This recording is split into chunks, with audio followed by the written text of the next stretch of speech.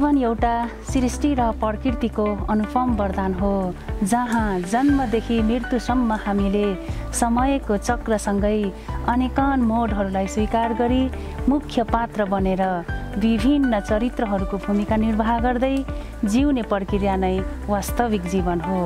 नमस्कार म देव कलापुन प्रतियोगी अङ्क एघार पेसाले म सौन्दर्यकर्मी हुँ। मेरो स्थायी ठेगाना बागलुङ। मेरा रुचि सुन्दर मानव शरीरलाई आखिर तिमा पनि सुन्दर बनाउनु मेरा रुचिका विषय हुन्। धन्यवाद।